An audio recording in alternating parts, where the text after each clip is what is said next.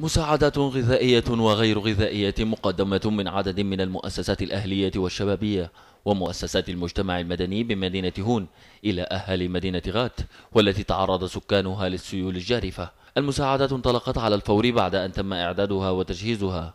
انطلقت فجر يوم الأحد الموافق السادس عشر من شهر يونيو الجاري.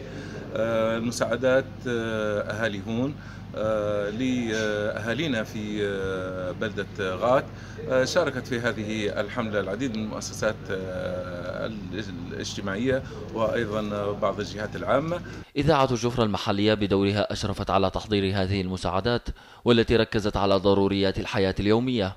بتجميع بعض المساعدات المتمثلة في تمور وأيضا مياه شرب وأيضا فراشات لأهالينا في آه، بلدة غاد.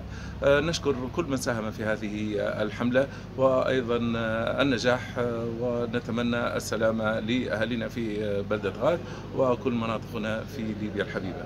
حملة تطوعية أظهرت مدى تآزر أبناء هون وبذل جهودهم في توفير ما يلزم لأهل غات مثلهم مثل باقي المناطق التي سارعت في تقديم العون لهم.